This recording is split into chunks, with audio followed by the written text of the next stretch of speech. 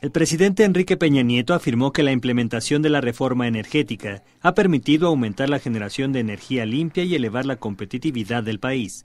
Pero lo que sí ha logrado ya la reforma energética es reducir esa brecha que eleva la competitividad que como país tenemos y nos ha permitido reducir las tarifas de luz eléctrica para la industria, para el comercio, para las pequeñas y medianas empresas. Al inaugurar el Parque Ventica en Monterrey, Nuevo León, el Ejecutivo Federal aprovechó la ocasión para aclarar distorsiones.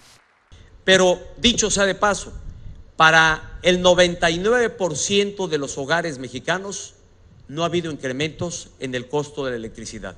Por el contrario, en términos reales, desde que entró en vigor la reforma energética, desde el 2014 prácticamente ha disminuido en términos reales casi en 10% el costo de la electricidad que paga el 99% de los hogares mexicanos.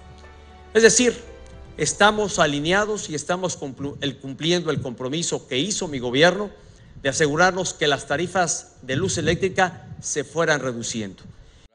Acompañado del gobernador de la entidad, Jaime Rodríguez Calderón, el Ejecutivo Federal recordó que en el Plan Nacional de Desarrollo está incluido el respeto al medio ambiente y la generación de energía limpia.